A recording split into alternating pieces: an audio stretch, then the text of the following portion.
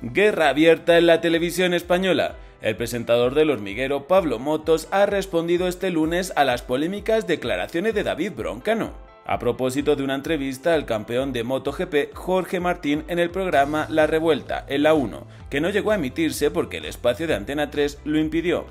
Pablo Motos ha acusado a Radio Televisión Española de difundir una versión deformada de lo ocurrido y lamenta que lo haga una televisión pública que pagamos todos con nuestros impuestos.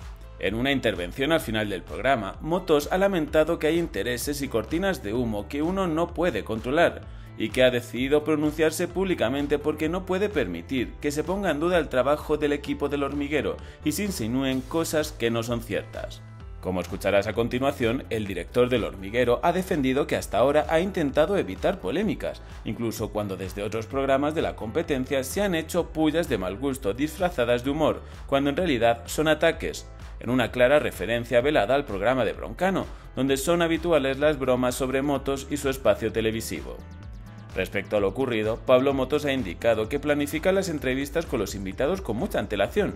En el caso de Jorge Martín, la entrevista se pactó el 29 de octubre y el compromiso adquirido por el motociclista es que su primera entrevista, ganara o no el Mundial, sería en el hormiguero, Pactaron la entrevista para el próximo 27 de noviembre y por eso les sorprendió ver un vídeo en redes sociales donde Martín anunciaba que iba antes a la revuelta. El equipo del hormiguero llamó en ese momento al equipo de Jorge Martín y le indicaron que se había producido una falta de coordinación, por lo que se resolvió que la entrevista se grabaría pero no se emitiría.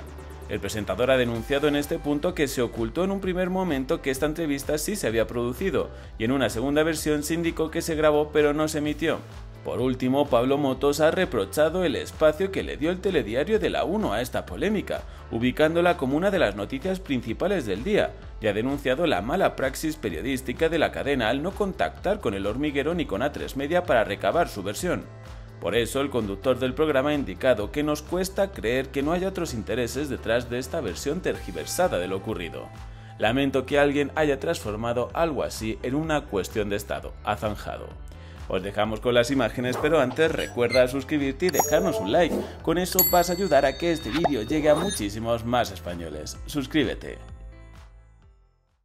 Sinceramente creo que hay noticias más importantes y que afectan mucho más a los ciudadanos. Y si tanta trascendencia creían que tenía, lo lógico hubiese sido llamar a la otra parte implicada, que somos nosotros, como así ha hecho la mayoría de los medios de comunicación españoles a los que se lo agradezco. Es muy sorprendente que nadie de televisión española nos haya llamado ni a nosotros ni a Tres Media.